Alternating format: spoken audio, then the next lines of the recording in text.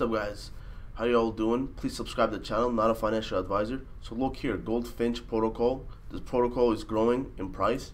And when we click top gainers on Coinbase, look at this. Massive 63.04%. So it outshines all of these, all of these growth in percentages wise. This is like double, almost almost triple this.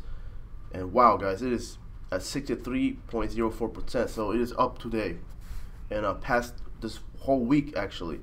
Uh, if we click one one week, look here, guys. This is what I'm talking about. So it, it was at two dollars a coin, a token, and then it jumped up and it keeps climbing here, guys. Whoa, to four dollars.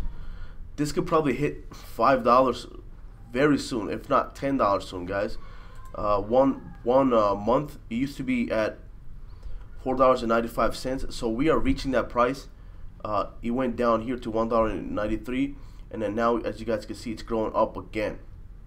One day, in one day, it's it's up actually massively. Two dollars. It was at two dollars and thirty one and it went up here, doubled in price to four dollars and fifty one cents a coin or token.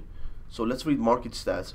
Um, market cap is at 20.3 million. Volume it rose, wow, 3,105.79% in 24 hours.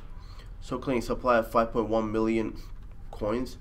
Price change in 7 days, 107.14%. Price change in 24 hours, 76.92%.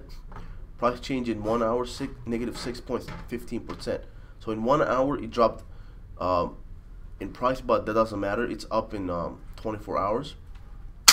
All-time high of $31.11.